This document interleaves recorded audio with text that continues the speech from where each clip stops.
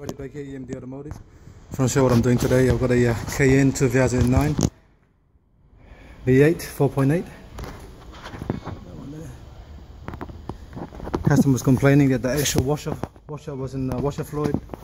Every time you activate the washer fluid, the little there's no water coming out of the washer.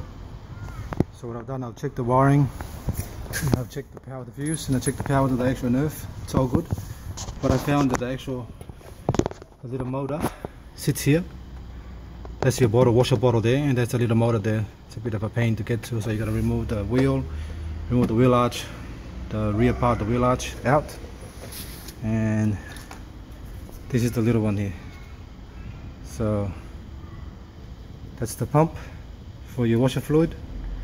You gotta make sure that the actual the black part of the pump that you see how here you got a uh, it's black here and then white on the back on the other side. So you gotta make sure that the actual little black clip there goes onto that one which goes to the black one. And the other one at the back it's got a white clip which match, matches this side here. Okay? Otherwise if you put the put it the wrong way you won't have a you won't be actually the pump will work but no fluid will be squirting out. Alright thanks for watching and please subscribe